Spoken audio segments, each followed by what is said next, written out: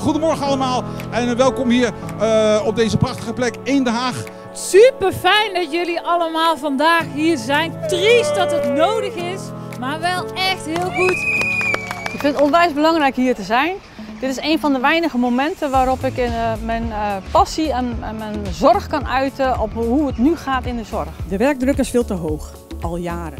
En na het applaus is het vanuit de regering alleen maar stiller geworden. Telkens weer worden we teleurgesteld door Den Haag. Je kunt het zo mooi maken als je wil en politiek verpakken in prachtige bewoordingen. Het komt erop neer, er is gewoon meer geld voor de zorg nodig. Ik vind het een prachtig beroep, maar ik wil gewoon dat, ja, dat meer mensen ook voor de zorg kiezen, de jeugd ook. En dat die gewoon in een huis kunnen wonen.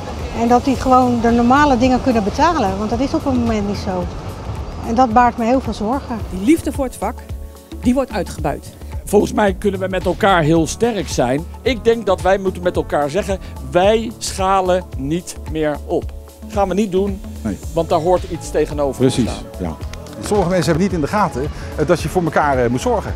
En die mensen hebben het helaas vaak ook voor het zeggen. Voor iedere millimeter van het spandoek staat een handtekening. Oftewel 130.000 handtekeningen dat zijn ingeleverd in de petitie tegen de uh, nog steeds niet juiste beloning in de zorg. Ja, natuurlijk raakt het me.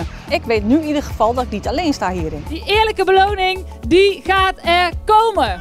Jullie zijn onmisbaar en jullie zouden ook als zodanig betaald moeten worden. Er moet gewoon op Prinsjesdag geld bij. Nou, die oproep is duidelijk. De zorg wil het.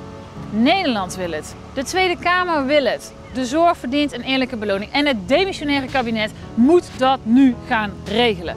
Volgende week bij Prinsjesdag. En wij strijden door. Doe je met ons mee? Ga naar sp.nl. Wie kijkt wel naar vaart. Er zit maar geen vaart in die boot. Het is net het kabinet, hè? Het gaat zo traag als stroop. Het is verschrikkelijk is het. Jullie hadden vast en zeker gedacht dat het sneller ging, of niet? Het is de Haag, is politiek. Gaat nooit snel.